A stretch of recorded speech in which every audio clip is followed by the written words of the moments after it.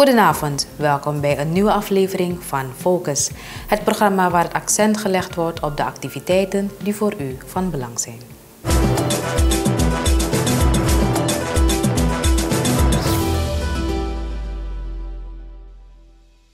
Oprichter New Yorkse vrijwilligersorganisatie op bezoek bij president Santoki. Academisch ziekenhuis breidt uit met Hart OK en vernieuwde Intensive Care Unit. Minister Weerwind oriënteert zich op Wintiwai. En regering streeft naar optimalisatie groenteverwerking.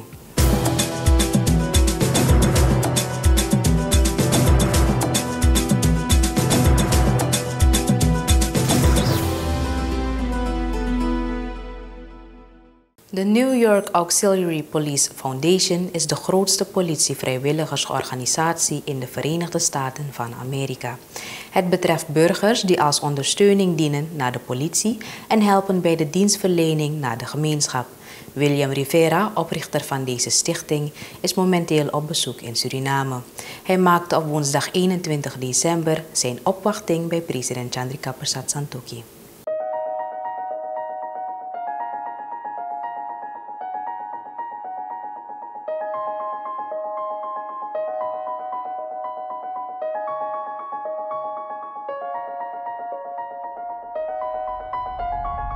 I met the president eight years ago in my district in New York City, and we talked about potentially having a visit here so I could tour the country and see how I can help and our foundation can help.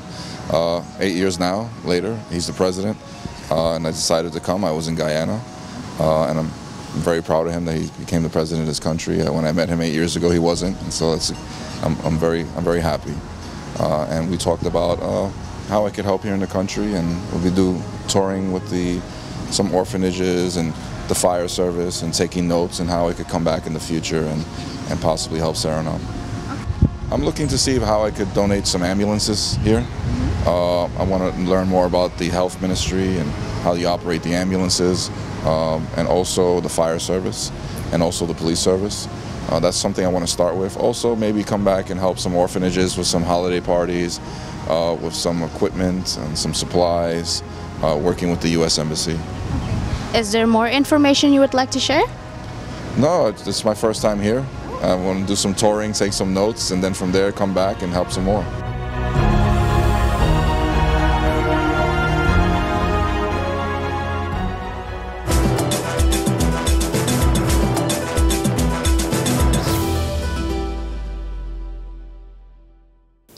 Het Academisch Ziekenhuis Paramaribo probeert zijn zorgverlening zoveel als mogelijk te optimaliseren en professionaliseren. Als onderdeel van het Health Facilities Improvement Project heeft het ziekenhuis op woensdag 21 december zijn hartoperatiekamer in gebruik genomen. Tegelijkertijd vond de opening plaats van de nieuwe vleugel van de Intensive Care Unit. President Chandrika Persat Santokhi mocht deelgenoot zijn van dit moment.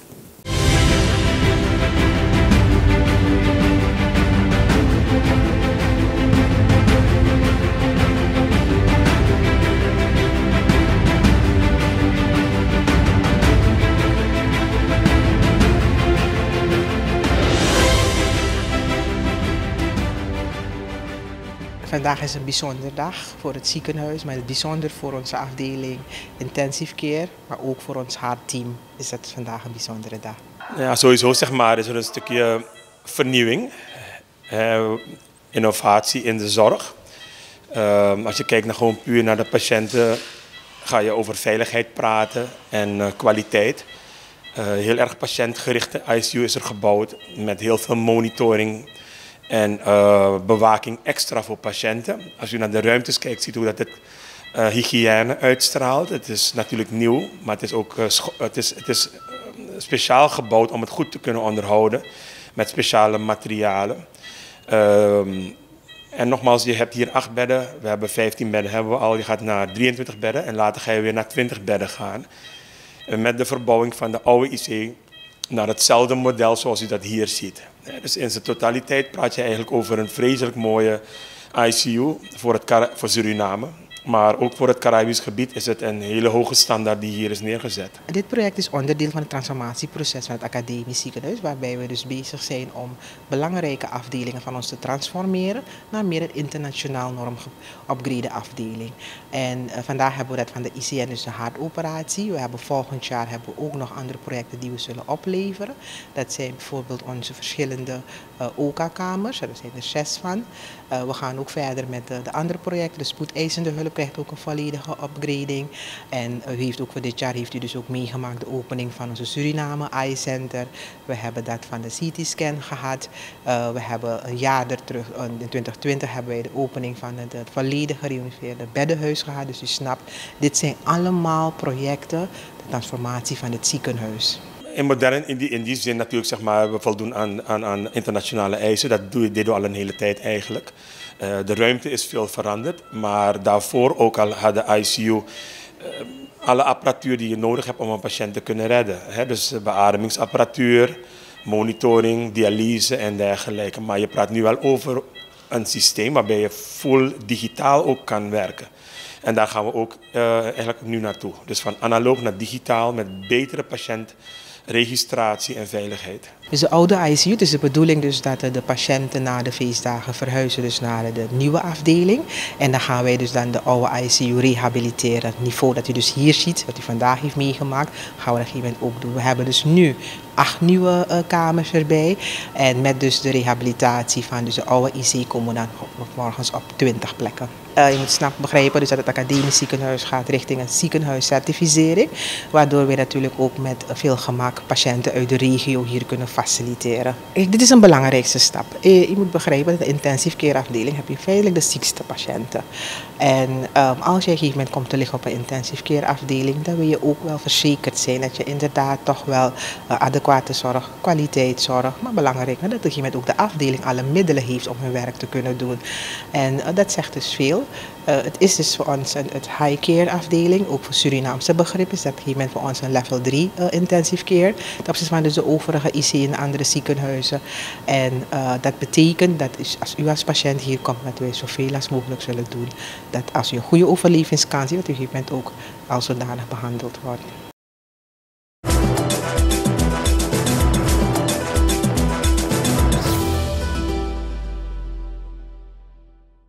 Het verbeteren van de politionele dienstverlening naar de samenleving is een van de aspecten in de justitiële samenwerking tussen Suriname en Nederland. Om een beeld te krijgen van de Surinaamse situatie heeft de Nederlandse minister voor Rechtsbescherming, Frank Weerwind, zich op woensdag 21 december georiënteerd te Wintiwai. Hij werd daar ingelicht over activiteiten van de buurtorganisatie Stiwewa. Aanwezig waren ook minister Kenneth Amoxi van Justitie en Politie en buurtmanager Ligio Veller.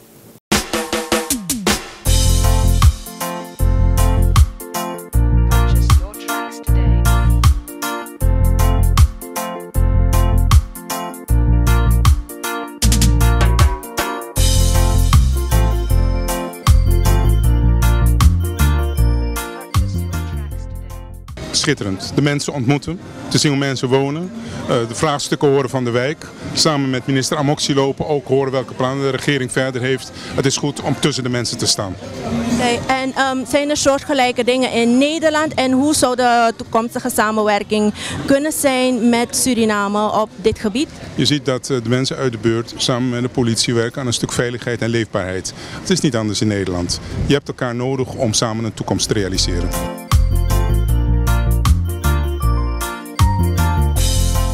Hoe vond u het om daar zo hoog bezoek te hebben? Ik vond het een hele grote eer. Ja, voor, voor alle overige buurtmanagers en uh, de wijken ben, vond ik het een vreselijke eer dat de minister en dat er gekozen is voor de wijk Wintiwa. De samenwerking met Stuwewa is al een hele poos. Voor mijn aantreden als buurtmanager was meneer Kia al uh, belast hiermee met de samenwerking.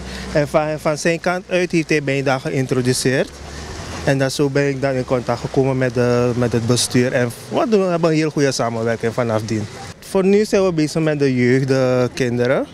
En we hebben laatst nog een kerstfeest met ze gehad. Dat is afgelopen zaterdag en het was heel vlot, heel spontaan afgelopen. En vervolgens, net als wat ik eerder had gezegd, heb ik huisbezoekjes met de buurtbewoners, telefoongesprekken. Ik ben laatst ook gestart met een groepsapp waarbij enkele buurtbewoners bij, bij zijn gevoegd. En zo verhoor ik de problemen, de knelpunten. En uh, van daaruit staan we met het bestuur kijken hoe we ze tegemoet kunnen komen. Oké, wat is uh, nu het uh, eerstvolgende knelpunt waaraan u zal werken? Het eerstvolgende knelpunt is het, wat mij het meest aandacht trekt, is het tienerprostitutie onder de prostitutie onder de tienermeisjes. En dat moet uh, flink aangepakt worden. Dus uh, vanaf januari wil ik daar een campagne starten enkele, nog enkele netwerkpartners in, inschakelen die me bij kunnen staan om dan de, om voorlichting te geven aan die tienermeisjes in de buurt.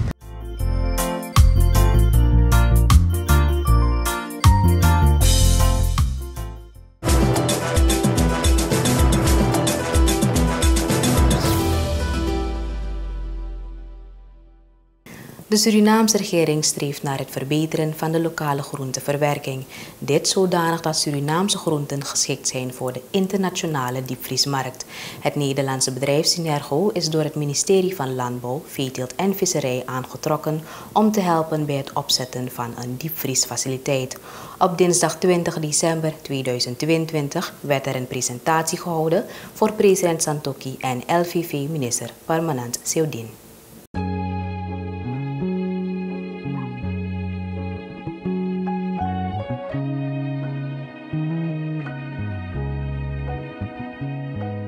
Willen hier in Suriname een verwerkingsbedrijf neerzetten waar wij groente en fruit zullen verwerken en daarna diep invriezen. En dit project staat in, uh, in ons herstelplan, welke ook vorig jaar in DNA is goedgekeurd. En uh, we hebben daarna bedrijven gezocht uh, die die technologie zouden kunnen leveren, maar ook apparatuur. Er is daarvoor een inschrijving geweest. Eerst om het project te schrijven. En daarvoor uh, is het bedrijf Synergo in aanmerking gekomen en, uh, om dat project voor ons te schrijven. Ze zijn een paar maanden mee bezig. Ze moesten ook wat proeven nemen. En, uh, want zo'n product, als je het hebt verwerkt, moet je eerst gaan blancheren. Tot 80 graden ongeveer. Gedurende een bepaalde periode. En daarna moet je het versneld afkoelen. Chillen heet dat. En daarna kun je dan doorgaan met je proces om het te, in te vriezen en, en te verpakken. Het is allemaal precisiewerk wat er hierbij komt kijken. Dus je hebt daarvoor specialisten nodig. Maar zij schreven het project voor ons. Uh, ze zijn nu in de finale fase. Ze zijn zelf naar Suriname afgereisd om het met ons te bespreken. De laatste uh, vragen of kanttekeningen die we ha hadden, die zijn verwerkt. En vandaag was de presentatie voor de president. Kijken uh, of hij hiermee ook op zijn gemak voelt natuurlijk. We hebben zijn zegen nodig daarbij. En in de is alles een, uh, helemaal gat gestreken. Dus we hebben nu het zegen van de president om met, met het project door te gaan. We beginnen met de eerste investeringen van de overheid, omdat het een, uh, niet goedkoop is. En, uh, maar uiteindelijk moeten de boeren de aandeelhouder worden van het, van het bedrijf. Dus en, daarmee kunnen dan de boeren het maximale eruit halen wat verdiensten betreft. En via zo'n bedrijf kunnen ze het verder vermarkten. Dus uh, maar hiermee ga je dan een situatie krijgen dat heel wat van die middelmensen die er zijn, die, dan in, uh, ja, die, die zullen dan uit de boot vallen. Maar uh, voor ons is het belangrijk dat de boeren een, overleven en een betere toekomst zullen hebben. Hij wees ons erop van luister, en, maak jullie je huiswerk, bestudeer alle zaken die jullie tegen of met kwaliteit te maken hebben of wat dan ook. We mogen geen hinder ondervinden als we opstarten heeft groot gelijk. Het kan zijn dat we nu een bepaalde zaak over het overzien. Maar we hebben nog genoeg tijd om dat allemaal uh, op te pakken. We gaan niemand uitsluiten.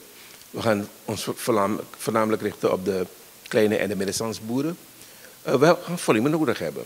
Dus we gaan een invriescapaciteit hebben van 2 ton per uur. En dan kun je zelf gaan met twee shiften. Dan uh, ben je 16 uur lang bezig. En je kunt verder gaan, je kunt zelfs drie shiften halen. En uh, zo zal het apparatuur allemaal in elkaar gezet worden. Dus een, uh, je kunt een uh, 16, 32, zeker 50 ton per dag doen. Dat is gigantisch. We beginnen met één shift te draaien, ervaring opdoen, boeren moeten getraind worden, arbeiders moeten getraind worden, de markt moet nog uh, ontwikkeld worden. Maar met dit project kun je dan alle kanten mee op. En de houdbaarheid van die producten zullen zijn, zal zijn twee jaren. Dus ook al komt het product ergens aan na twee maanden, het is nog even goed. En uh, ten tweede, we hebben wat marktonderzoek gedaan. In Europa kunnen we nogal wat kwijt, heel wat. Maar ook hier in Frans-Guyana. Momenteel weten we allemaal dat er heel wat producten naar Frans-Guyana gaan op een illegale manier. Vorig jaar hadden we een probleem dat in, uh, bij export, tenminste, doordat er strenger werd gecontroleerd in Frans-Guyana, dat plotseling hier de prijzen omlaag gingen van groenten, omdat je even een opstopping had. En, uh, maar oké, dat hield daarna weer op. Maar dit is, geeft wel eens een teken dat wij nu versneld ons huiswerk moeten gaan maken. En op de juiste manier die exporten zullen organiseren. Maar ook Caribbean. U hebt de president ook gehoord, die ook aangaf van uh, hoeveel vraag er niet is naar onze producten in, het Caribisch gebied. Dus ik zie hier een bedrijf straks verrijzen. Maar kort daarop zal het tweede en een derde moeten komen.